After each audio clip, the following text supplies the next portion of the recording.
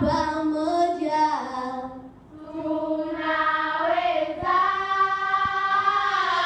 milele yote, tuwe pamoja, tuwe pamoja, pamoja kwa umoja, shirikiane.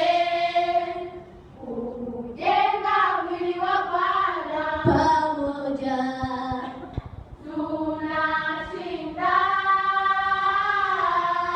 Bye.